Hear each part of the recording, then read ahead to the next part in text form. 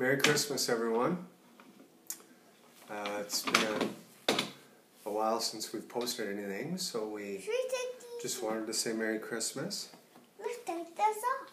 I'm 21 months post transplant now, and uh, Troy's growing like a weed. I uh, really wish to thank my donor and their loved ones. I wouldn't be here right now if it weren't for them. And uh, due to that fact, I'm able to watch Troy grow and enjoy his third Christmas. He now knows what Santa is and presents, and he's getting pretty excited. Tomorrow's the big day. He's hoping for some cake, maybe a blue present. Uh,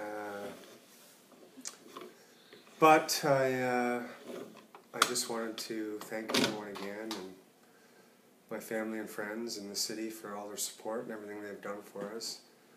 And uh, you know, I can't say enough. I'm watching my son grow up and he's starting to learn how to skate. He's being shoveled in the driveway and he loves his trains and trucks and playing with sticks and dirt and eats like a horse. So he's growing, growing, and growing. It's unbelievable.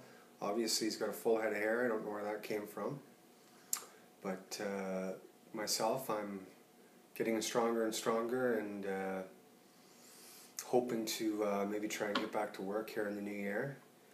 And uh, also, I just wanted to thank my wife, Christine. I uh, I wouldn't have made it through all this without her. So, baby, I love you, and uh, Merry Christmas, and Happy New Year to everyone, and best in 2017. And I know my family's had some loss this year, and uh, we can use a good year. So, Merry Christmas. Can you say Merry Christmas? Merry Christmas.